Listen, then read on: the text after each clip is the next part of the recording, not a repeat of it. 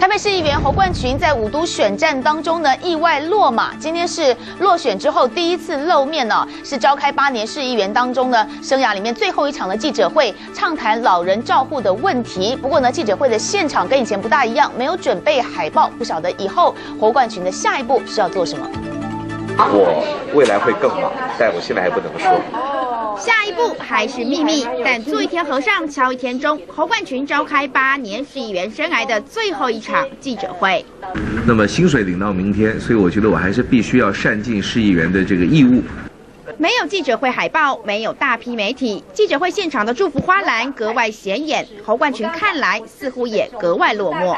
个我又不能够装的一副，装的一副好像很超脱的样子，因为多多少少你花了八年的青春在这个地方，呃，应该是会有一些，呃，会有一些依依不舍吧，啊，但是感伤是不会了。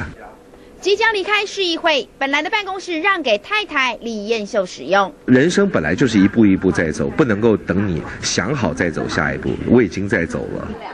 侯冠群透露，新工作在台北市，离议会不远，跟两岸文化教育有关。人生跑道向哪儿转弯，暂时还不打算公布答案。这是由刘碧华分采访报道。